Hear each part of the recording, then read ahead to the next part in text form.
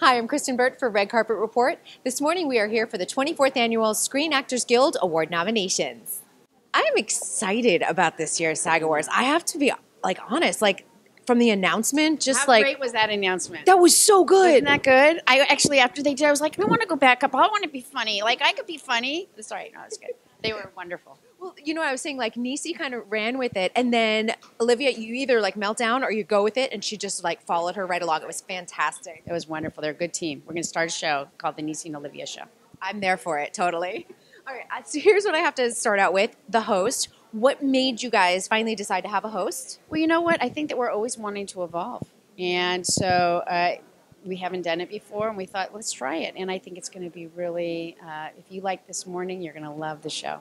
Uh, Kristen Bell is such a great choice. Was it easy to pick her? Oh my God, she's so, it was the greatest choice, and it was easy to pick her. And she is bright, and she's talented, and she's, she's so leaning into the world. She's great. She's really, it's going to be fun. And I heard this great bit of news: all female presenters this year. Wow. And we did that separate from what's going on. No. Yeah. What made you? So was it kind of based off? Of, last year we talked a lot about equality and women in the industry. Well, and this is something we work on as a union in SAG-AFTRA. Our for us, it is about inclusion and how do we go? How do you ask for inclusion and diversity if we don't reflect it? So this year is a real was we wanted to be able to focus on, you know, a group of performers who are not always seen. Um, you know, they're put into the sidelines, is the you know not always right out front. So um, it's just, I guess, it's kismet, right? It's all meant to be, but it'll be an exciting time. We're really celebrating the women of our industry.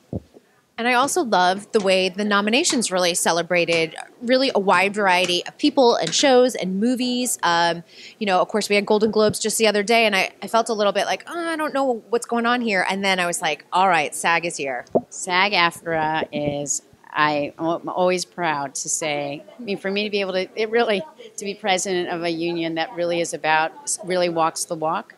And that's what you're seeing inside of these uh, nominations. This came from the performers peer to peer saying we love your work and we want you to be seen and recognized and we're voting for you so Yeah, I, I wasn't on the nomcom this year, but but I'm excited to vote honestly because I, I was like, there's a really good mix, and there are a few people that I was like, get outs there. You know, I was happy about that. It was nice to see people that have been left off that are included this time around. yeah it's, it's i'm telling you it's going to be a great great great uh, sag awards this year i'm very excited We are thrilled and always good to talk with you. And I'm so glad that you guys are kind of like leading the way and pioneering that. Hey, all of us lead the way right we do it together you're doing it right now by talking about it so everybody's got to watch january 21st 5 o'clock pacific time and 8 o'clock eastern time We'll be there. All right. Thank you so much.